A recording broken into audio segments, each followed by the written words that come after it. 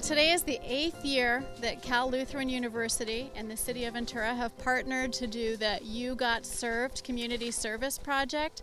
So we have about 630 students from Cal Lutheran University, along with staff and volunteers from the community and staff from the City of Ventura and the Ventura Hillsides Conservancy. We're cutting down uh, arundo which is kind of a bamboo-ish species and it's an invasive species. So it's taken over through the riverbed here and um, we're taking it down because first of all it's um, taking away resources from the other plants that are native to the area and also because a large homeless population has um, come into this area and is using it for housing.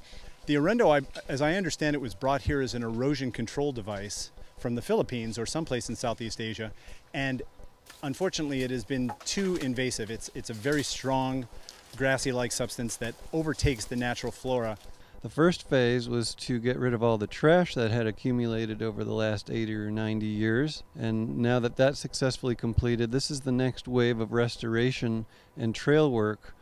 And this is the second phase of our restoration program, uh, all part of the River Parkway program to reconnect Ventura with its river.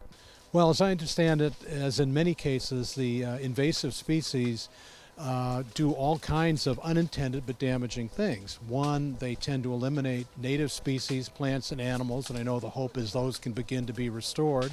They also serve, in this case, as a way to entrap refuse, other forms of garbage that uh, get tangled up, and then when the winter rains come, can be swept out in the ocean. It's not useful. It's not an erosion control device and it's time for it to be removed so that the natural uh, plants, shrubs, and trees can come back. We've done this, as I said, eight years, and the logistics to pull together 600 plus students and partners like the Ventura Hillsides Conservancy and the city's Volunteer Ventura program.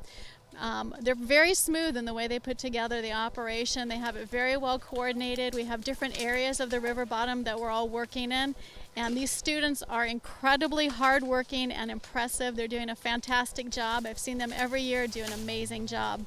I love that I get to lead this group, and I love that um, I get to represent my school being out here. I think that's huge. I love to bleed purple and gold. Um, and I feel a great sense of accomplishment walking away from an area and knowing I left it better than I found it. And I think that's super important in this case is we are walking away leaving the riverbed better than the state it was in. And if that's just taking us dedicating three hours, I think that's a great use of our time. It's important to me because I think they're the next generation of people that are going to be the caretakers for our community. Whereas you and I go out and do it today, we're members, we volunteer.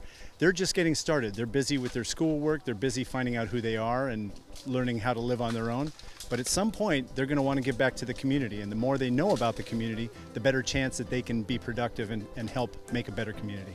Every year, I'm so proud of what these uh, young people do, these young men and women that are coming to our university. And they come in and they work real hard, and that makes you feel good about education. People are singing and whistling and cussing, getting sweaty.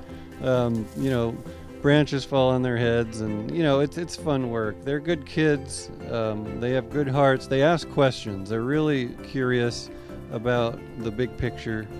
We couldn't do it without the City of Ventura and the Conservancy. Without partners like that, none of this would be possible. It's a team effort, and we're very grateful to them for it.